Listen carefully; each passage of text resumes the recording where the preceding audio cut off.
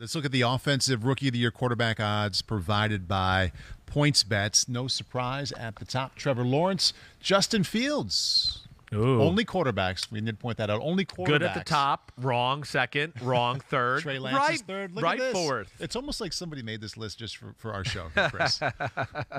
I mean, hey, listen, I understand the Trevor thing.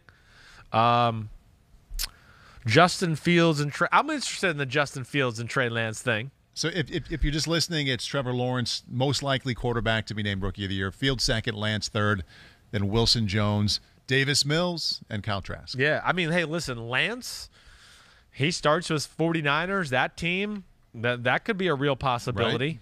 Real possibility. Um, and, and you know me, I, I wouldn't sleep on Zach Wilson. Here, here's one thing that's jumped out to me. All Yeah. right. Yeah. And again, maybe we could dive into this. Maybe people could tell me I'm wrong. I know I'm not reading everything in the news from every city and all of this. But I am a little into the chatter this time of the year. Trevor Lawrence, there hasn't been much about because mm-hmm. he's injured. He can't quite go. I'm not worried about Trevor Lawrence. No, he's going to be a stud. Mm-hmm. No doubt about it.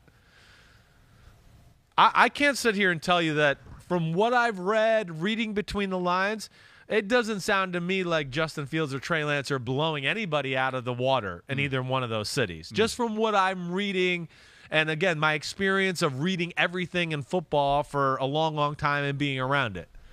I just I'm just interested because there's a lot more than on Zach Wilson. There is real chatter. He is opening eyes daily. And we're close to it, so you can like Well, we actually can- I can hear hear it more. Yeah. And, and you know, but but like I've heard it from people who are not here outside of league circles. Like, oh man, hey, I'm people in the Jets are telling me Zach Wilson is just every day. It's unreal. But like Dad came on here a few weeks ago. He works at a gym with a few Jets players. Yeah. It's all they talk about. You know, comments I hear of San Francisco sometimes are like, when Trey Lance makes a mistake, he doesn't make it again right? I didn't hear that one time with Zach Wilson. I just heard awesome throw, awesome play, blah blah blah. With Justin Fields, it's I'm working on my mechanics after the. I didn't hear that one time with Zach Wilson either. I mean, there's something there to be said about that. I'm not saying I'm right or wrong. Yeah. I'm just telling you that's where my mind goes, and as I read into things a little bit, uh, I think sometimes it does. I heard the same stuff last year. I said this with Tua and Justin Herbert.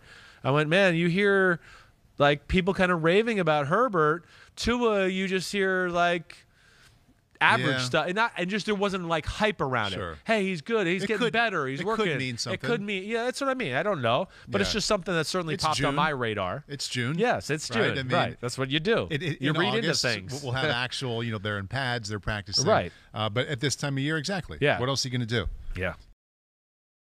Hi, I'm Mike Tirico, and thanks for watching. Make sure to hit subscribe for the latest news and highlights from NBC Sports.